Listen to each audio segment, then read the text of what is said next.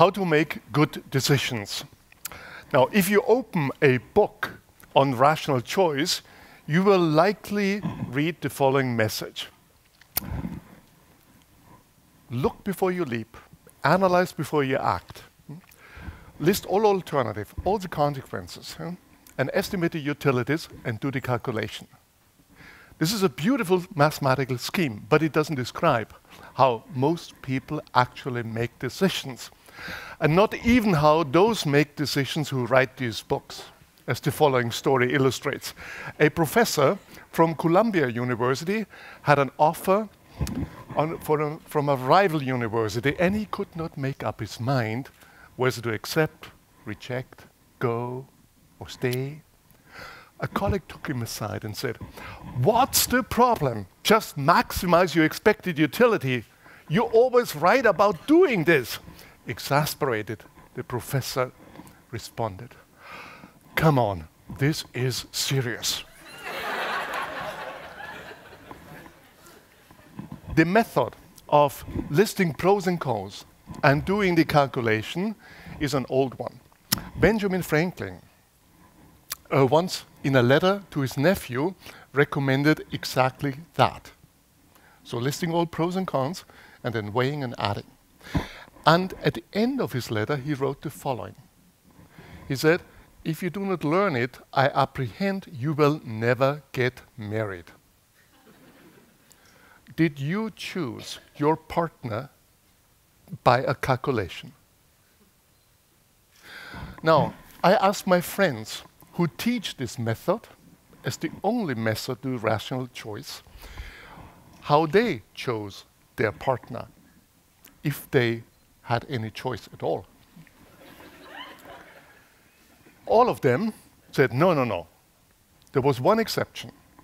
And he told me that he applied his own theory. So he explained to me that he listed all the alternatives, all the consequences. For instance, will she still talk to me after being married? Will she take care of the kids and let me work in peace? And then he estimated for each of these women the probability that it will actually occur and multiplied it by the utilities and made the calculation. Then he proposed to the woman with the highest expected utility. She accepted. He never told her how he had chosen her. I met him recently. Now they are divorced. So, I will talk today about two ways of making decision. One is the one that it's told at academia, it is, has many names. It Benjamin Franklin's bookkeeping method or expected utility theory. And this is a method that works in a world of risk. That is, when the probabilities, the consequences, and alternatives are known. And here, statistical thinking is enough. A key example is lotteries, or if you play the casino. Then you can calculate how much you will lose. In uh, a different world, the world of uncertainty, calculation is not enough. You need smart rules of thumb that are technically called heuristics and good intuitions which are also based on smart rules of thumb. And I will talk today uh, about decision making under uncertainty and also about the dangers to use uh, systems that work for risk, for known risk, and apply them to the world of uncertainty. So, choices between two jobs or between partners are all in the world of uncertainty. You can't calculate everything, you don't know the consequences, and there will be surprises. I will make four points and then illustrate them with two examples. First, the best decision under risk is not the best decision under uncertainty. Second, heuristics that you need in order to make good decisions under uncertainty hmm, are indispensable for good decision making. They are not, as it's often claimed, a sign of a kind of mental retardation or of just mental laziness. Third, complex problems do not always require complex solutions. And that's again in a world of uncertainty. And finally, more information, more calculation, more time is not always better. Less can be more. So let's go to the first example. This is sports. So how does an outfielder catch a fly ball? In baseball, in cricket, or maybe in soccer where the goalie has to get it. So how does he or she know where to run? Now there are two theories about that. One is it's a complex problem, you need complex uh, mental processes. And the other one is it's a complex problem under uncertainty, and you need to find a simple method for that. So let's look for the first one.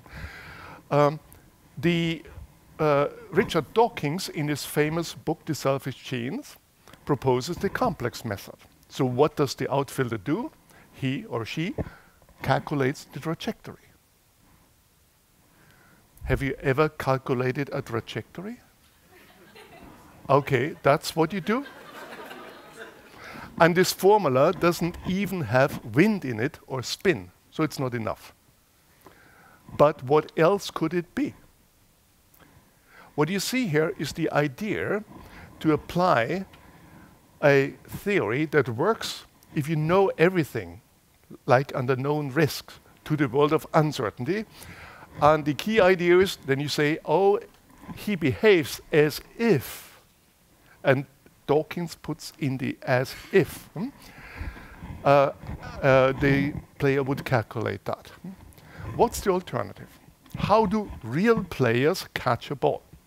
That's my question. And a number of experiments show that real players use a number of simple heuristics. I'll show you one. This one works when the ball is already high up in the air. It's called the gaze heuristic. And it has three steps. First, fixate your eye on the ball, start running, and finally, adjust the running speed so that the angle of gaze remains constant.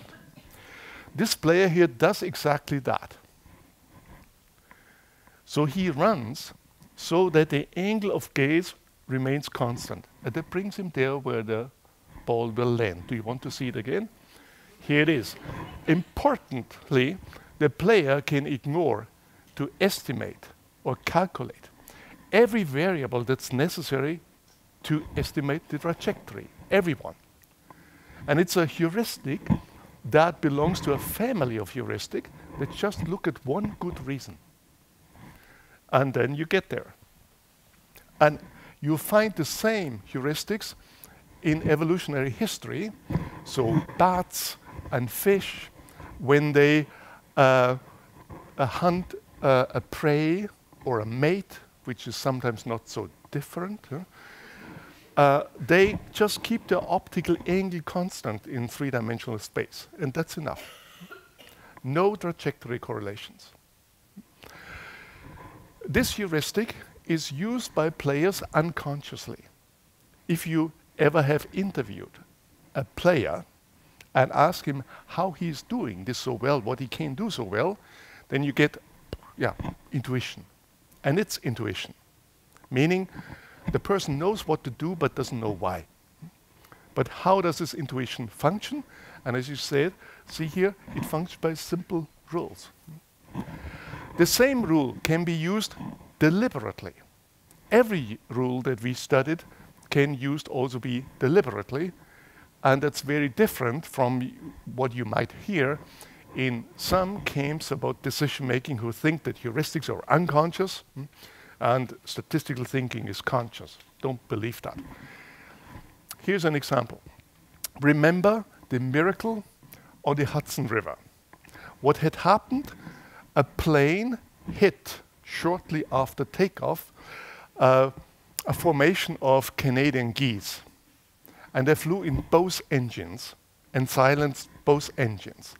The pilots turned around to see whether they could get back to LaGuardia Airport. Or they would have to do something more risky, like the Hudson River. how did they make this decision?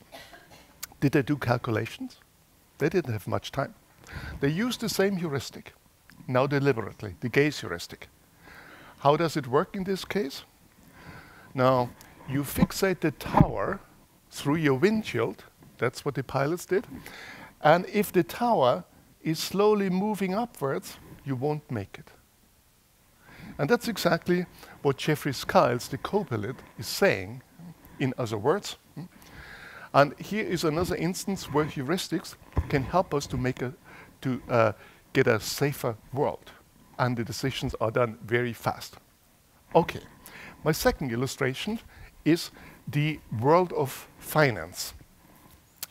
We know now that the theory of finance is part of the problem, or was part of the problem of the financial crisis, not its solution. Why?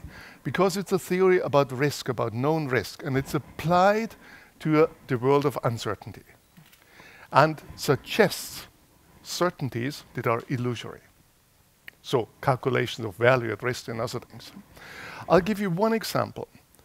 Uh, assume you want to invest money and you don't want to put everything in one basket, but you want to diversify. But how?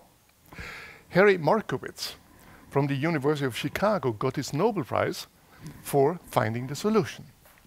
So when Harry Markowitz made his own investments for the time after his retirement, he used his Nobel Prize winning optimization method.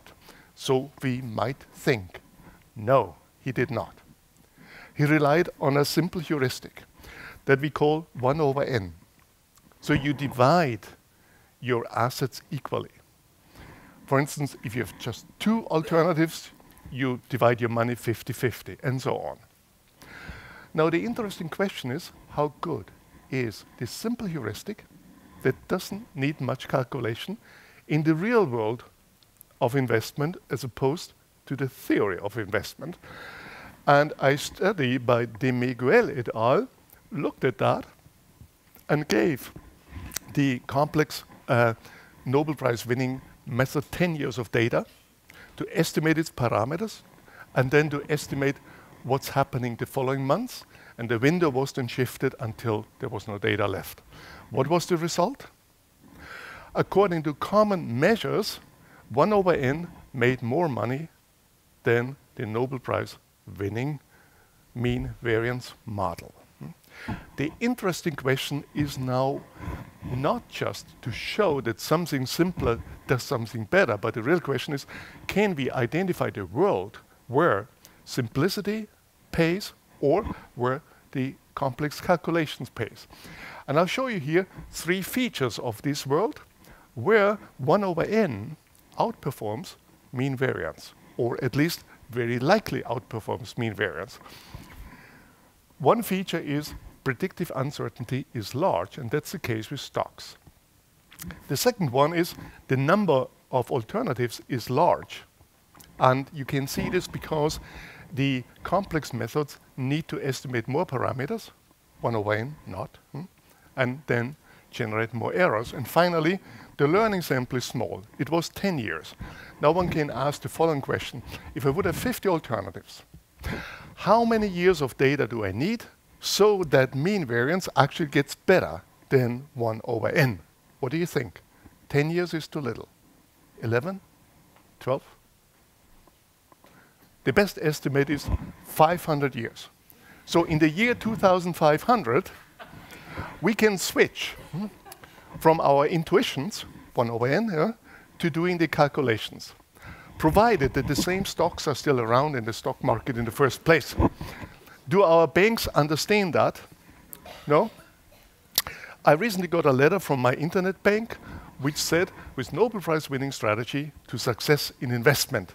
And then I read, do you know Harry Markowitz? No, you should know him. And then the story was told hmm, that he won the Nobel Prize for solving the problem. And the bank has now adopted his method, and there was a warning about people's intuitions.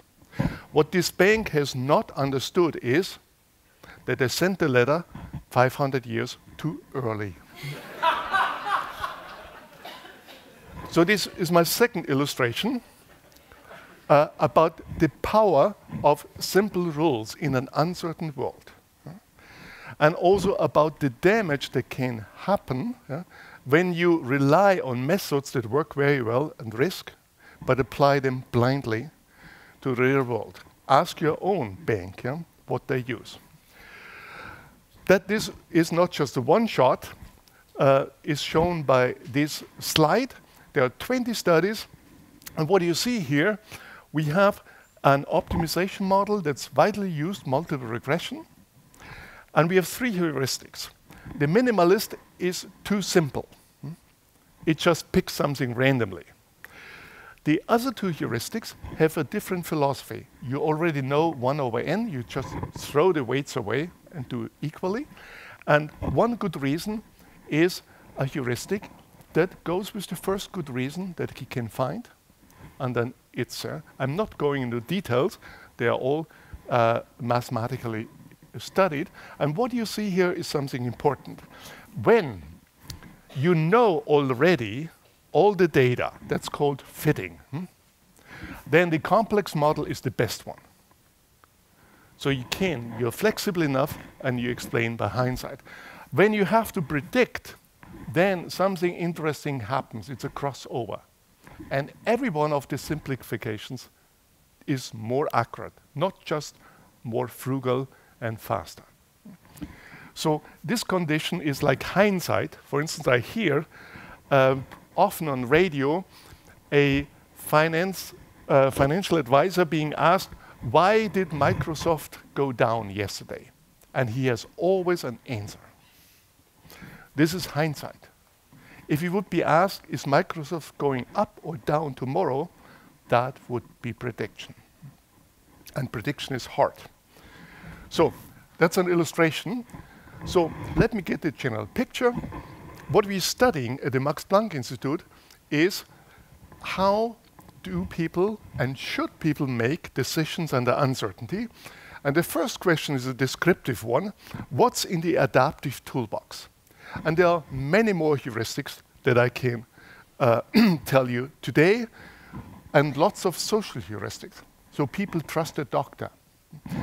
And the study of ecological rationality asks the question, in what situation is this a good idea and when not? So, if your doctor knows the medical evidence, has no conflicts of interest, and doesn't do defensive decision making, that means uh, just uh, has a fear that you might turn into a plaintiff, that's a good idea. But that's not the case in most countries. Most doctors we have studied don't know the evidence, they have conflicts of interest, and they do defensive decision making. So, and finally, how to create situations, environments, and also strategies that are intuitive and that help people to make better decisions. So let me finish. Decision making under uncertainty is different from decision making under risk. And uh, heuristics are not the second best strategies that we often hear. They can do better than even optimiz optimization strategies in a world of uncertainty, not in a world of risk. And finally, more information, more time, and more computation is not always better. Less can be more. Thank you for your attention.